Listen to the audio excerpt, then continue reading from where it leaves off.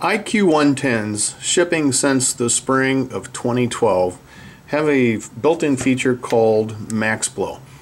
In Max Blow, the variable speed blower will always blow at 100% of its maximum speed, and the lid off detection is disabled.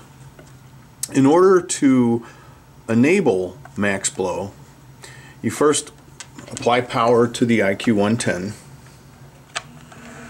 when it first comes up it displays red and then green flashes. This indicates the software version. The red flash is the major version and the green flash is the minor version. We'll do it again and count flashes. One, one, two, three, four, five, six, seven. This indicates it's running version 1.7. The max blow feature was first introduced in version 1.6. So if you have version 1.6 or version 1.7 or something later, it will have the feature built in. I'm going to restart. First we get our version. Then after this is done, the blower will ramp up and ramp back down as part of the power on self test. The whole thing takes about 15 seconds, the version flash and the blower. At any time during this, if you rotate the knob all the way back and forth two times, the LED starts flashing rapidly, in this case red. That means we just put it into max blow mode. Then it automatically reboots, flashes a software version,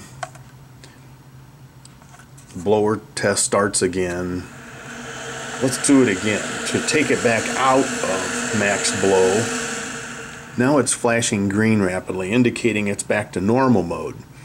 Now it reboots again, shows you the version code, and one more time we'll put it back into max blow. Rotate it all the way back and forth two times. Flashing red, we're in max blow, and we'll leave it there for this unit. Uh, max blow is good for uh, gravity feed. In fact, it was invented for gravity feed cookers like Rebels and Stumps and Superiors, things like that where you don't want the lid off detection and uh, the fire is uh, you have a fairly small firebox where uh, you want maximum airflow and it's good for other pits too um, now note that the IQ 110 does ship in in normal mode and if you want max blow you'll have to enable this yourself. Thank you for watching this video